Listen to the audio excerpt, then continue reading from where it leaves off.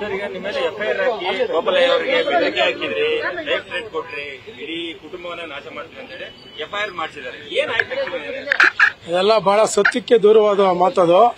ನಾನು ಯಾರಿಗೂ ಕೊಲೆ ಬೆದರಿಕೆ ಹಾಕೋ ಅಂತ ಹಿಸ್ಟ್ರಿ ನಂದಲ್ಲ. ಆಮೇಲೆ ಈ ಏನು ಹಣಕ್ಕೆ ಬೇಡಿಕೆ ಇಕ್ಕರು ಅಂತ ಅದೆಲ್ಲ ಈ ಮಂಜುನಾಥ ಸ್ವಾಮಿ ಭಗವಂತ ಎಲ್ಲ ನೋಡ್ಕೊಳ್ಳಿ ಸತ್ಯನ. ಏನು ಹೇಳಕ್ ಬರಲ್ಲ. ಏನಾರ ಸತ್ಯ ಇದ್ರೆ ಅದ್ರಲ್ಲಿ ನಾನು ಮಾತ್ರ ನಾವು ಹೇಳಿ ಮಾಡಿರೋ ಸತ್ಯ ಇದ್ರೆ ದೇವ್ರ ಭಗವಂತ ನನ್ನ ಶಿಕ್ಷೆ ಕೊಡ್ಲಿ ಇಲ್ಲ ಅವ್ರಿಗೆ ಒಳ್ಳೆ ಬುದ್ಧಿ ಕೊಡ್ಲಿ ಅಷ್ಟೇ.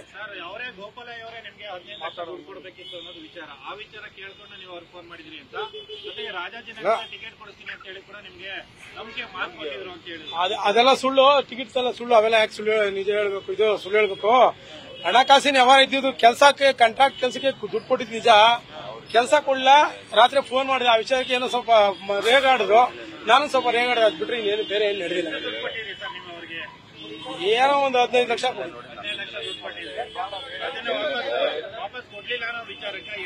ಎಲ್ಲ ಕೆಲಸ ಕೆಲಸ ಕೇಳ ದುಡ್ಡು ಕೇಳ ಕೆಲಸ ಕೊಡ್ರಿ ಅಂತ ಕೇಳಿದೆ. ಆ ವಿಚಾರಕ್ಕೆ ಹಿಂಗೆ ಮಾತು ಮಾತು. ಹೌದೌದು ಇನ್ನ ನೀವು ಈ ಒಂದು ಸತ್ಯ ಏನು ಅಂದ್ರೆ, ನಮ್ಮ ವಿರೋಧ ಪಕ್ಷ ನಾಯಕರು ಅಶೋಕ್. ನಾನ್ ಬಿಜೆಪಿ ಇದ್ದಾಗ ಎರಡ್ ಸಾವಿರ ಹತ್ತರಲ್ಲಿ ನನ್ನ ಹತ್ರ ಒಂದ್ ಕೋಟಿ ದುಡ್ಡು ಇಸ್ಕೊಂಡ್ರು ಮೇಯರ್ ಮಾಡ್ತೀನಿ ಅಂತ. ಮೇಯರ್ ಮಾಡ್ತೀನಿ ಅಂತ ಎರಡ್ ಎರಡ್ ಸಾವಿರದ ಹತ್ತರಲ್ಲಿ ಒಂದ್ ಕೋಟಿ ದುಡ್ಡು ಇಸ್ಕೊಂಡ್ರು ಇವತ್ತು ಮಾಡಲಿಲ್ಲ. ನಾನ್ ಕಾಂಗ್ರೆಸ್ ಬಂದ್ಮೇಲೆ ಆ ದುಡ್ಡು ವಸೂಲಿ ಮಾಡ್ಕೊಂಡೆ.